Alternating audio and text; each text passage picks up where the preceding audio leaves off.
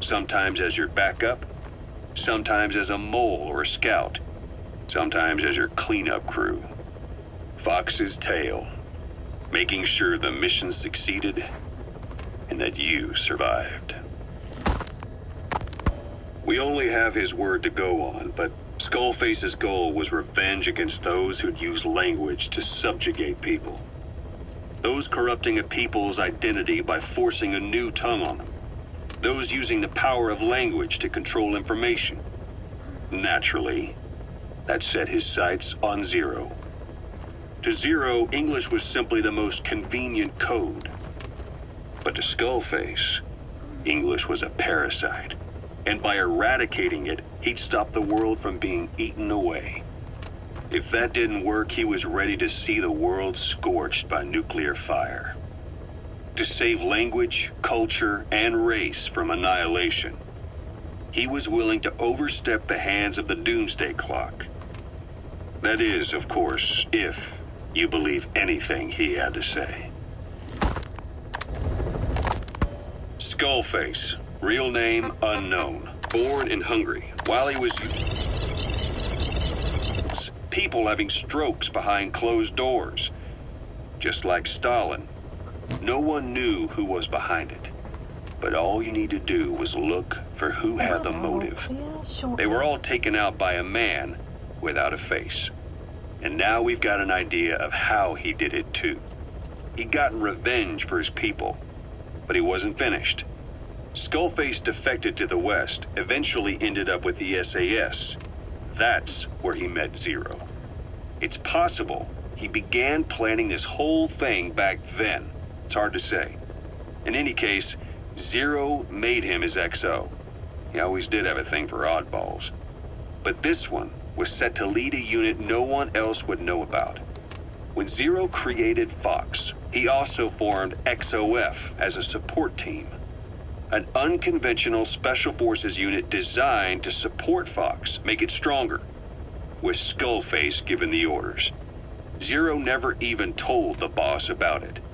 Nor the CIA, naturally.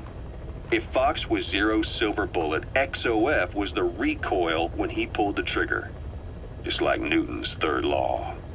While you were with Fox, Skullface was operating behind the scenes. Sometimes as your backup, sometimes as a mole or a scout, sometimes as your cleanup crew. Fox's tail, making sure the mission succeeded and that you survived. We only have his word to go on, but Skull... You know, when you brought back all the child soldiers who escaped, Eli knew they'd returned. Needless to say, nobody said a word to him. I guess they got a message to him somehow.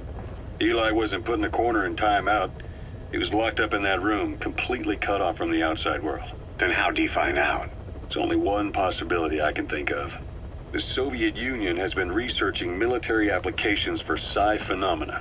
Psi? Things like psychokinesis and ESP, extrasensory perception. You mean moving objects without touching them? Knowing what card somebody's holding up? Psychic powers? Come on. I thought that was just another bunch of disinformation aimed at the West. Just bear with me a second. One type of ESP is telepathy. It's the ability to know another person's thoughts through nonverbal means. You're saying Eli read our minds? It's the only idea that doesn't involve someone getting to him. Ocelot.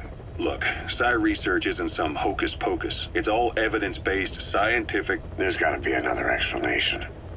Maybe one of the kids stuck a note to your back. I hope that's the case.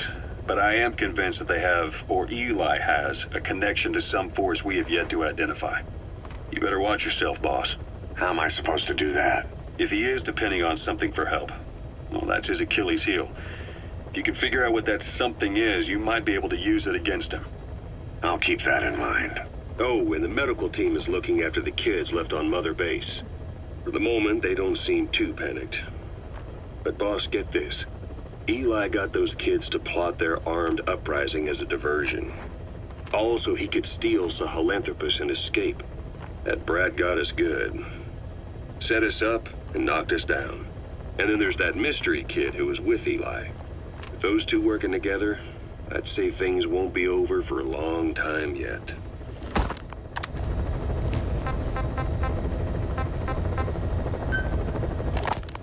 Rise and shine, old timer. It is complete. I had our best and brightest working overtime, fine tuning the greatest burger the world has ever known. I call it the chemical burger. What on earth is that color? Now, now, don't judge a burger by its color. Go on, try it. I am not very hungry. What? Oh, I get it. Now, sure, it's loaded with additives, but each one's been approved by the WHO for human consumption. Come on, one little bite's not gonna kill you. Are you sure of that? Fine.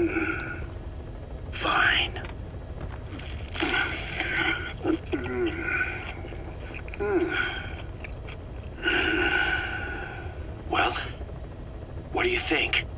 It's. It's. It's. It is perfect. Right? Right? This takes me back to the taste of my youth. The neon signs on the Mother Road. Oh, I can see them now. So, what do you think of our signs now? And it doesn't just taste great. You won't believe how cheap it is to make.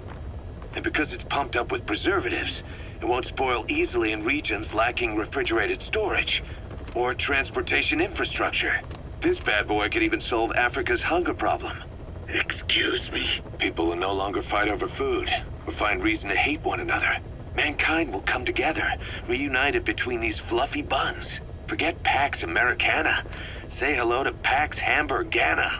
Pax Hamburgana. Skullface thought that destruction was the way to free the peoples of the world from American imperialism. But this is different. Tackling something head on just makes for more conflict. Only by uniting the world can its various inhabitants truly become free. Having lived as an American parasite as long as I have, I know what I'm talking about. The chemical burger is poised to be the greatest liberating force the world has ever known. An ethnic liberator. Burger. Now all I need is a better brand image, starting with a name. I gotta run, old timer. I'll catch you later.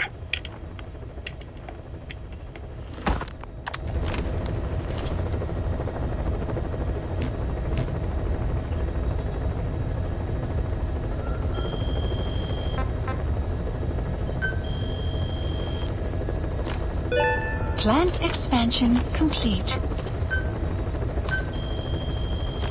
Staff assigned. Development project has been added.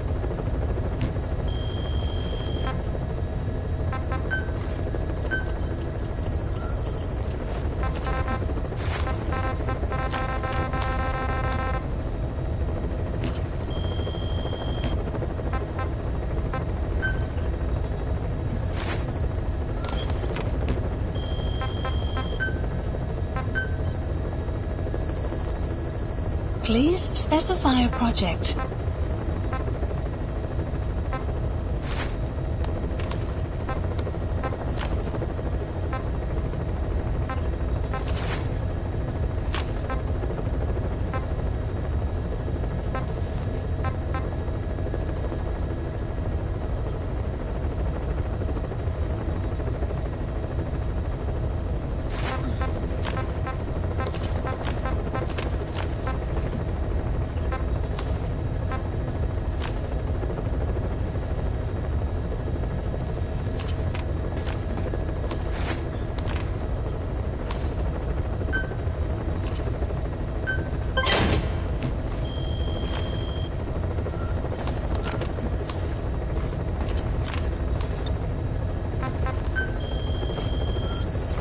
Please select a mission.